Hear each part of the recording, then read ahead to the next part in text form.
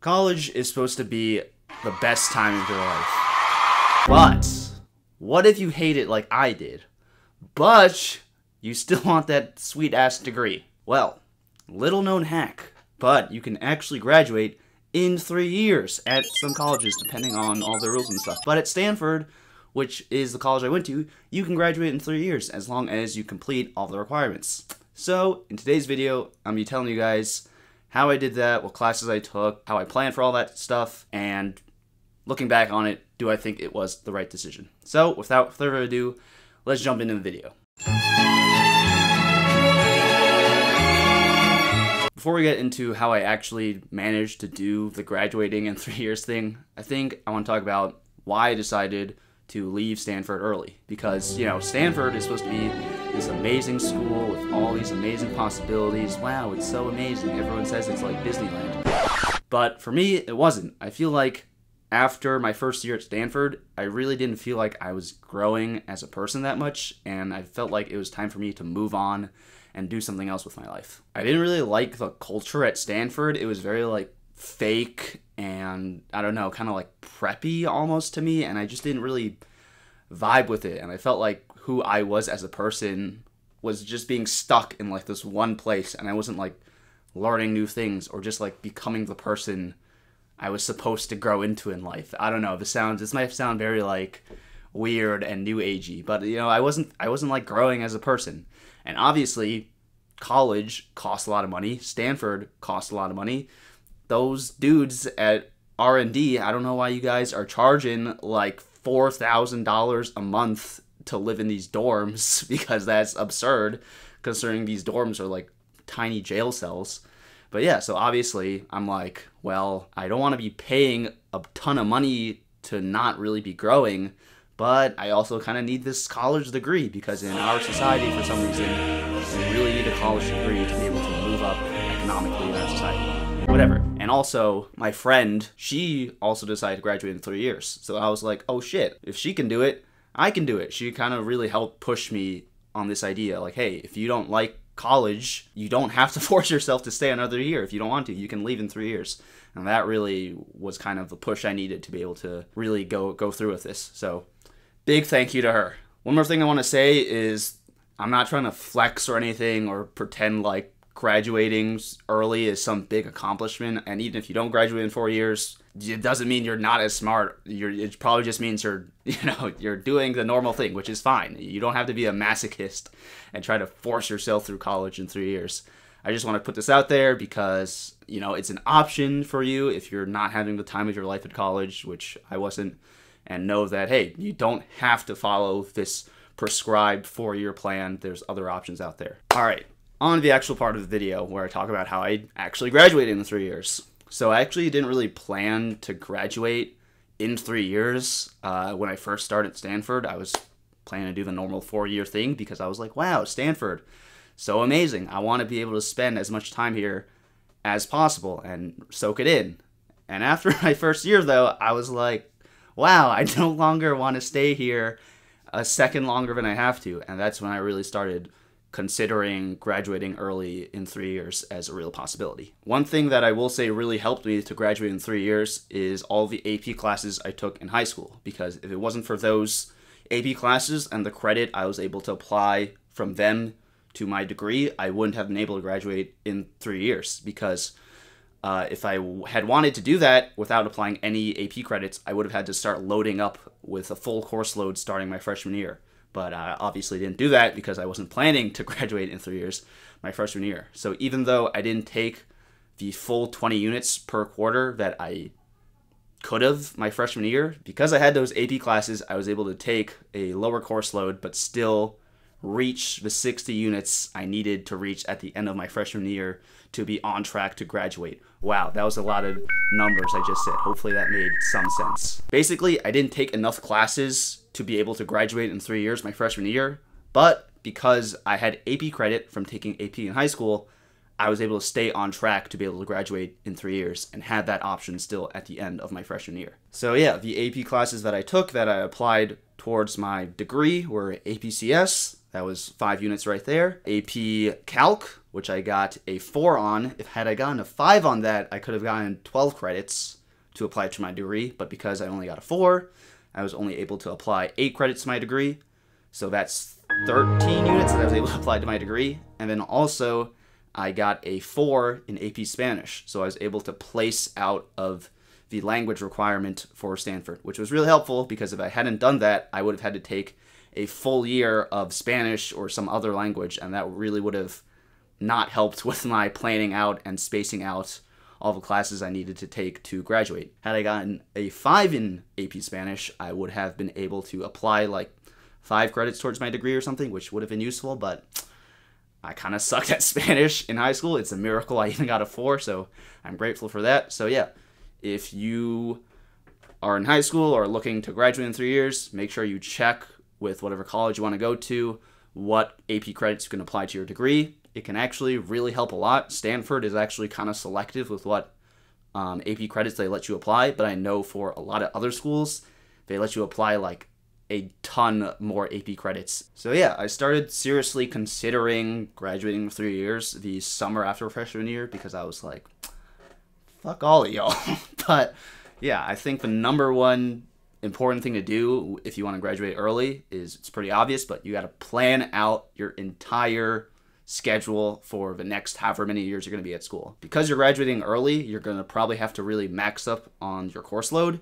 And because of that, fitting all the required classes that you need to take to be able to graduate exactly on time is kind of going to be like a little game of Tetris and fitting all the right classes into the right spots and the right semesters or quarters. So that's going to be really important. So, yes, number one thing you got to do is plan. The way I planned out the schedule for my remaining two years at Stanford was I first took all the classes in my CS major and figured out the order in which I needed to take them because certain classes in CS required that you take other classes first. For example, in order to take CS 110, which is like a systems class, you had to take CS 107, which was like an earlier CS class in the curriculum.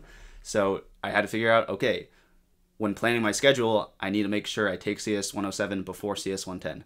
And this might seem really trivial, but when you're planning to graduate exactly in three years with the exact number of units exactly on time, it's really important that you have this planned because you don't want to be halfway through your third year and then realize, oh shit, like my plan is all messed up. I didn't plan it out correctly, and now I can't graduate in three years. So, yeah.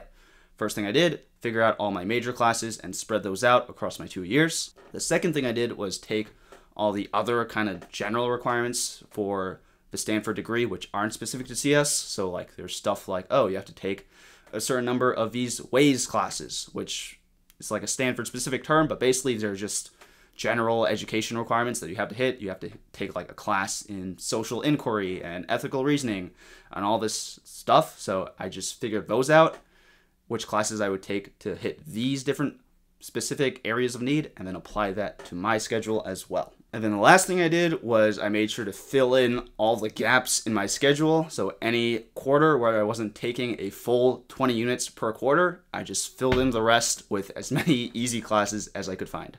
So to graduate from Stanford, you need to take 180 units. Uh, every year, you take three quarters of classes. So if you take 20 units per quarter. You can take 60 units per year, which means you can graduate in three years because 3 times 60 is 180. Boom! Math lessons with introverted madness. 2 plus 2 is 1, minus 3, that's 4. Quick maths. But yeah, so any quarter where I didn't have that 20 units, I just slapped in a bunch of smaller classes to bring me up to that 20 didn't really matter what those other classes were. They were just basically there as filler so that I could graduate in three years.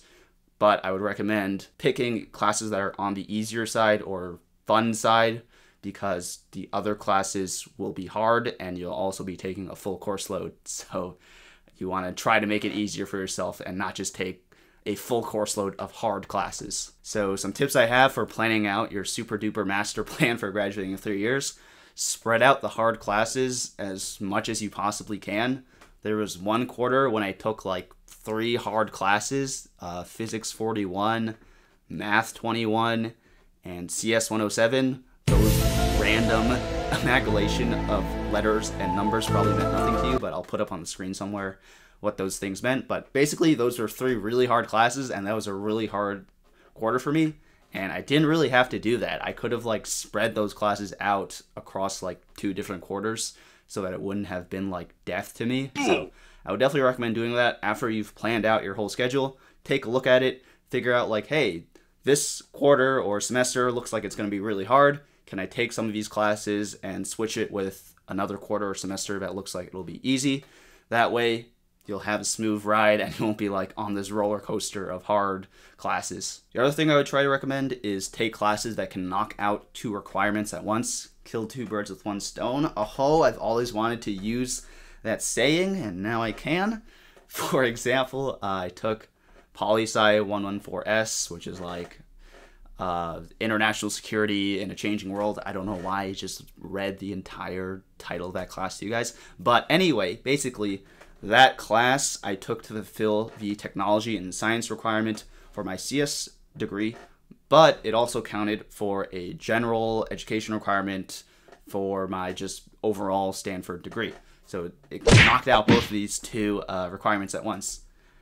Probably depends on your school if you can, you know, take one class to fulfill two requirements at once, but check with their school and if you can do that, I'd recommend doing that because that way, for example, instead of having to take two different classes for these two different requirements, I could just take one and then I could just take another fun or easy class instead of two different classes for these two requirements. And like I said, because your course load is probably going to be heavy on these requirements and you're going to be really maxing out the number of units you take per quarter or semester. I don't know why I keep saying quarter or semester. I'm just going to choose when to say. I'm just going to say quarter, but replace quarter with semester if you're with at a school on a semester system.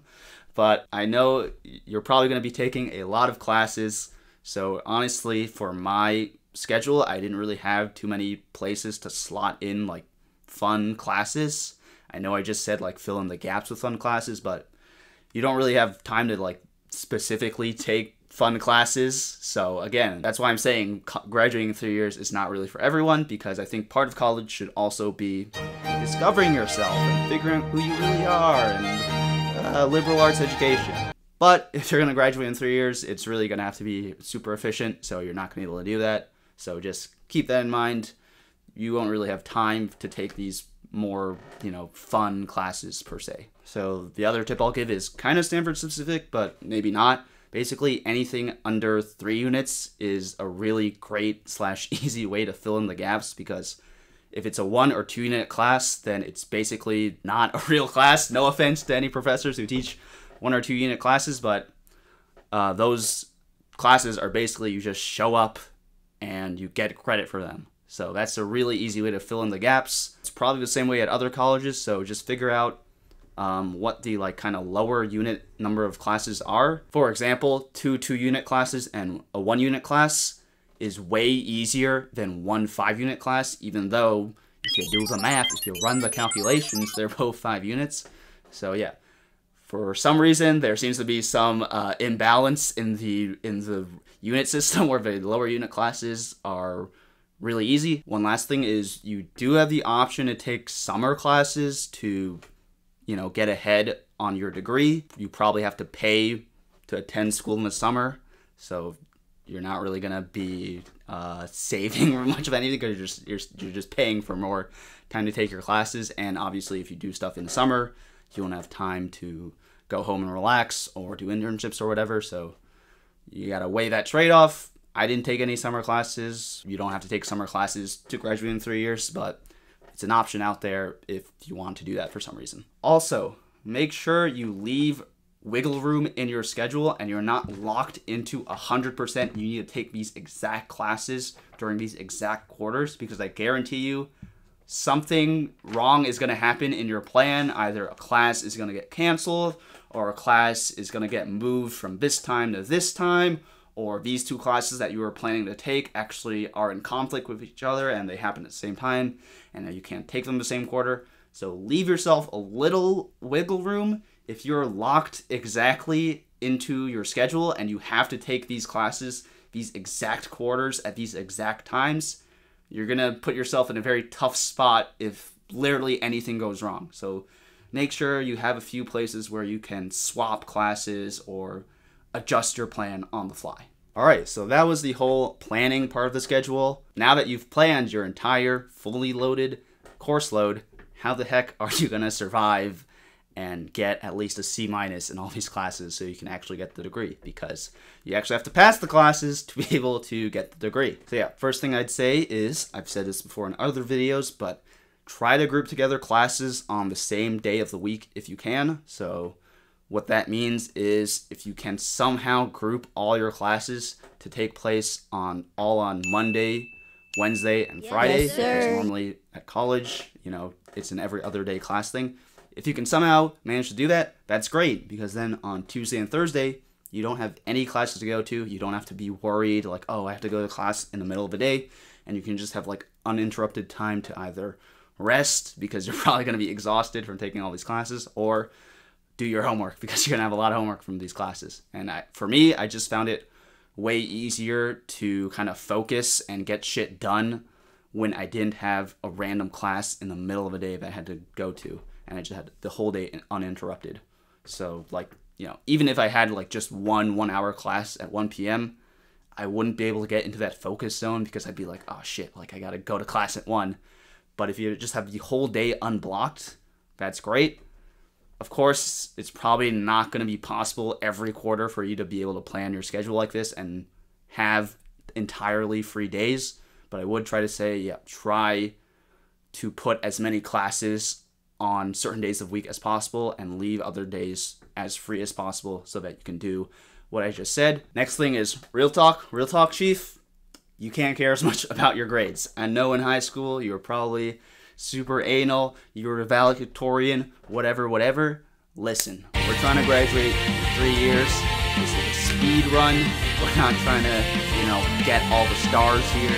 So if you're trying to graduate in three years, you're honestly gonna have to not care as much about grades because maybe you're a genius, but I don't think there's a way for you to get, you know, all A's when you're also maxing out your course load. So you gotta try and pick and choose your battles here. I don't think grades are really a battle worth choosing unless you're going to med school because in the real world, no one's gonna care about your GPA. They're just gonna care that you got your degree. So kind of on that note, you kind of have to apply that philosophy of not caring about your grades to stuff you do if you're on a time crunch. For example, if I was on a problem set and I didn't know the answer to a question and the question was worth like two points on the whole problem set, I'd be like, I'm skipping this problem because if I get this problem correct or incorrect, it's not really going to affect whether I pass the class or not. Maybe it'll be the difference between an A plus and an A. Not that I really got an A plus ever in any classes, but you know what I'm trying to say. Tiny things here and there might be the difference between like an excellent student and a student who passes.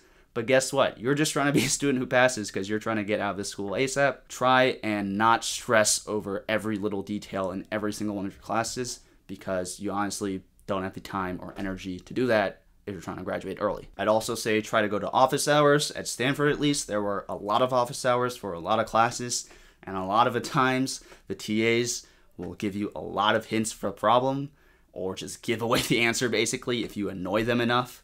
So I think you know going to office hours to be able to review the concepts and learn more and blah blah blah blah blah blah, get, a, get a great education, all that stuff is great, and you get the added bonus of being able to finish your homework faster if a TA helps you with it. Honestly, is gonna be hard. I would it's obviously harder to graduate in three years than four years because you're compressing all the shit you gotta do into a smaller time frame.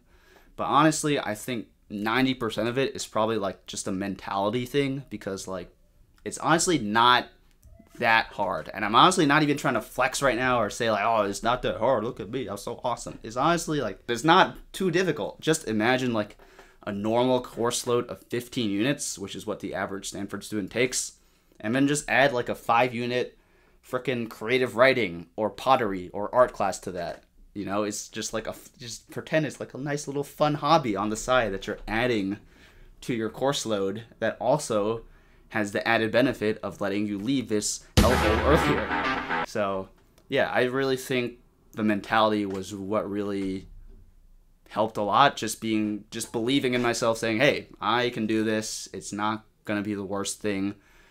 yes, I won't be able to get an A plus in every class, but I wasn't doing that anyway when I when I was planning to graduate in four years.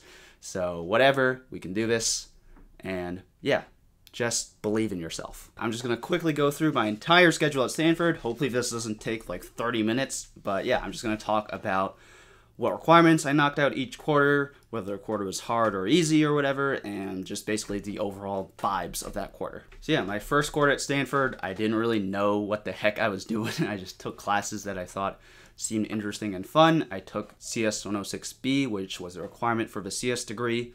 I took this Thinking Matters course, which was like a general education requirement. And then I took these two other kind of fun classes, conversational Chinese and this narrative class just to explore, broaden my horizon at Stanford. This was kind of an easy ish quarter, one of the easier quarters I had at Stanford. And it was also pretty useful because I think I was able to use uh, the narrative class to knock out one of the Ways requirements. The Thinking Matters thing was also a required class, and CS 106B was required for a CS major. So, knocked out some requirements, pretty easy. Overall, I'd say this was an A tier quarter. oh boy, this winter quarter 2016, this was a dark time. So as you can see, I took a full 20 units. I think this was when I, the idea started germinating in my mind, like, hey, maybe I can graduate in three years. Let's see if I can handle a full course load. Wow, that was a bad idea because this quarter was very painful for me. As you can see, I took uh, beginning conversational Chinese again. I took poetry and poetics because at that time I was still kind of interested in majoring in English. I was like, let's see how this goes.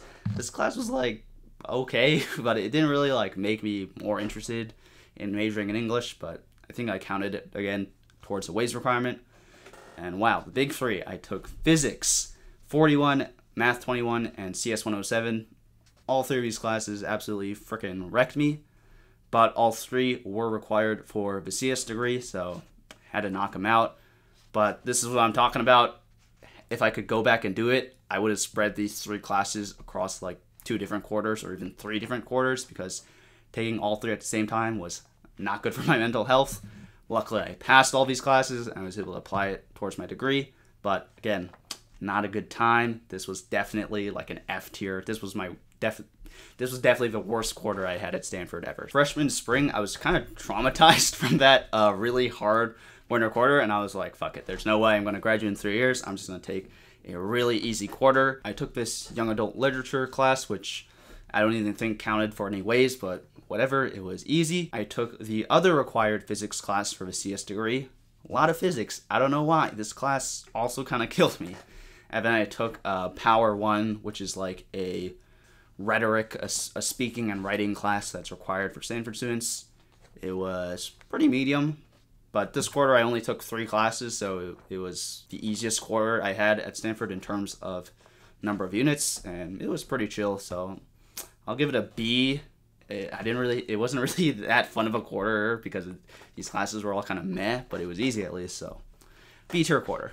All right, sophomore fall. This is when I started to get serious about graduating in three years, and from here on out, we're just taking 20 units per quarter maxing our shit out so that we can get out of here because freshman year kind of was a shit show. I think winter quarter really kind of just wrecked me and I was just like uh, that that's it. I'm out of here. So I took these two CS classes that are required for the CS degree.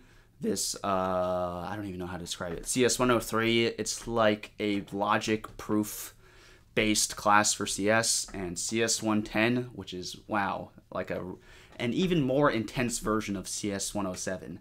CS 107 and CS 110 are like the two horsemen of the apocalypse. So, wow, these two CS classes required, toughed it out, and then I also took uh, these two history classes to take care of some ways.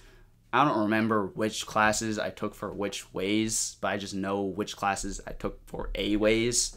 And these two classes were for ways. They were the history of China and the history of South Africa. So if you want to ask me any shit about China or South Africa, I can maybe give you like one fact about each. This quarter, I'd say it wasn't too hard, wasn't too bad. It was much better than the previous 20 unit quarter I had. So I'd give this a B. The vibes were better this time, and it gave me hope that I could actually graduate in three years, that I didn't die this quarter. Winter quarter, I dedicated entirely to knocking out some CS degree requirements, and I don't know why winter quarter always seems to be the worst fucking quarters for me. Maybe because some weird shit with the winter solstice. But yeah, I took engineering 40, which is like an EE class. The labs here really killed me, but that was fine. I took um, geology 1 for like a science elective for the CS degree. I took Math 51, which was a math elective for the CS degree. And then I took Poli Sci 114S, which is the class I talked about earlier. So just knocking out a bunch of auxiliary classes for the CS degree, even though none of these classes have anything to do with CS. But at Stanford, I guess, uh, I'd rate this quarter probably probably a C tier because it's winter quarter and I hate winter quarters. and yeah, that brings us to spring quarter, which was also a pretty intense quarter. I took three CS classes to knock out some CS electives. I took CS 109, which is required for all CS majors, and then I took these two electives. 155 was very tough. 227B was kind of fun actually. I kind of got obsessed with this class and doing well with this class, which goes against the advice I said earlier, which is to pick your battles. But that was a fun class. And then I also took this philosophy class for Ways. This class was great because it was five units, but also easy. So it filled up my schedule while not being something that actually took up my actual time. So thank you for that, philosophy. And then I also took PWR 2, which is the follow up to PWR 1, which is required for all students to graduate.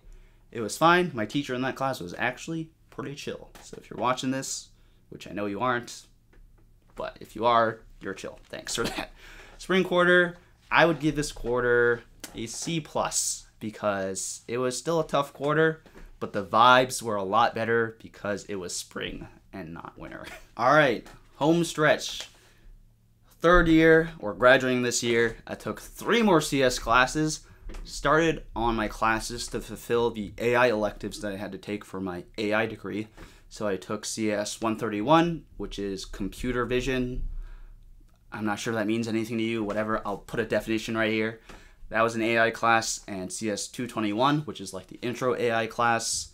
Both of those I needed for my CS degree in the AI section. I took CS 157, which was a super easy class. I recommend that for CS majors at Stanford to knock out one of the math electives, actually. It doesn't count in the CS part of the degree, it counts for the math elective part of the CS degree, but take it because it's easy.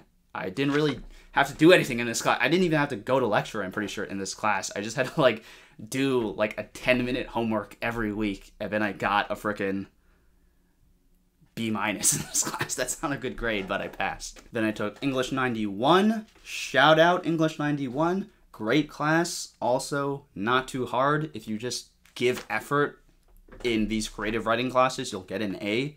So that's good. I think I use that as just like a filler class to get myself up to 20 units. And then I took this Chinese religions class. I'm Chinese, so boom, instant advantage for me in this class. I took it to fulfill a ways.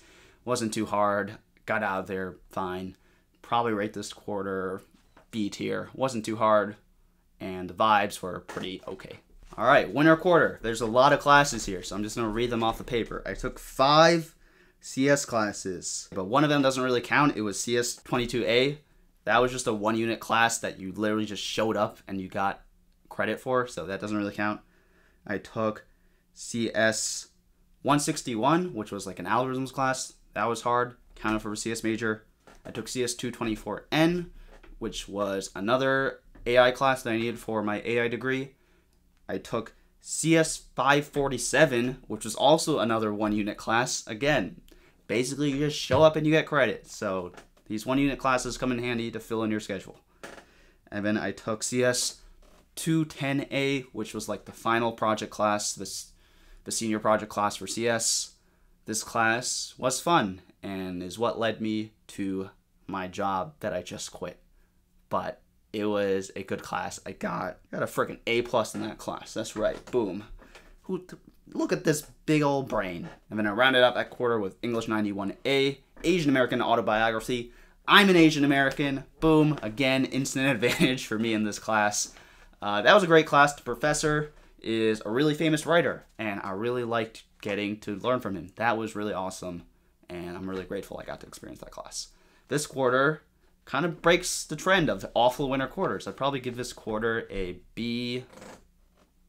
A B, a B tier. I think that's pretty solid for this quarter.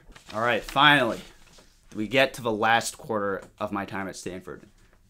And during this quarter, I was actually kind of stressed because I was like, what if I missed some requirement that I was unaware of and graduation day comes and they're like, oh shit, actually you didn't take this class. You got to stay here at least another quarter. That would have really not been a good time. Luckily for me, my planning, aha, actually worked and I figured it out. So that was helpful. So yeah, to finish off my time at Stanford, I took the last four CS classes I needed to get my CS degree.